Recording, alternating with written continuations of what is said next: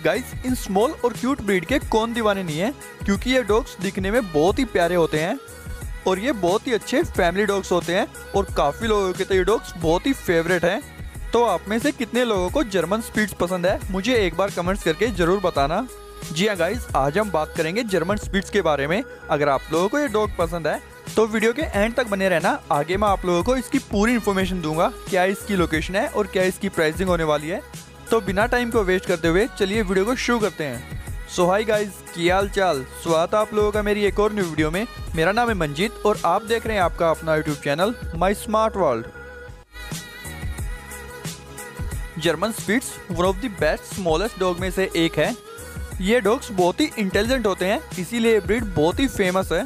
German speeds family dogs होने के साथ साथ बहुत ही बढ़िया वॉच डॉग्स भी होते हैं।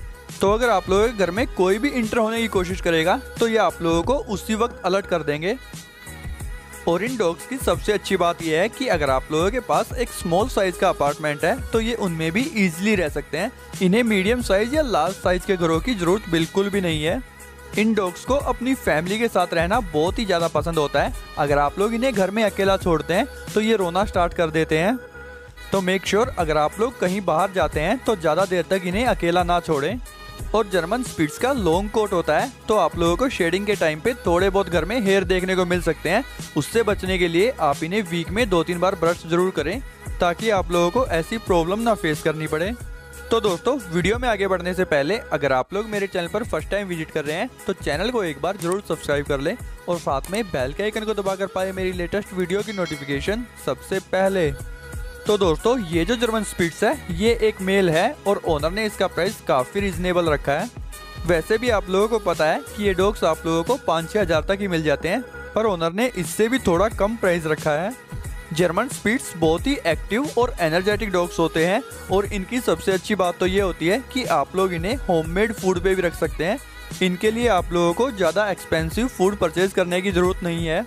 तो चलिए आगे बढ़ते हैं इसकी बाकी की इन्फॉर्मेशन की तरफ़, इसकी एज प्राइस और लोकेशन तो सबसे पहले बात करते हैं इसकी एज के बारे में।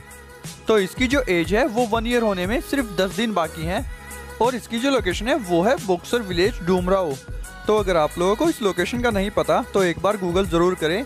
बाकी आप लोग ओनर से भी कांटेक्ट कर सकते हैं। ओनर का कांटेक्ट नंबर मैंने नीचे डिस्क्रिप्शन में डाल दिया है।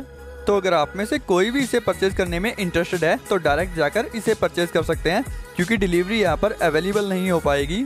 तो अगर फाइनली इसके प्राइस के बारे में बात की जाए तो ओनर ने इसका प्राइस चार हज़ार पाँच सौ रुपये रखा है। तो आप लोगों को क्वालिटी के हिसाब से इसका प्राइस कैसा लगा, मुझे एक बार कमेंट्स करके ज़रूर बताना।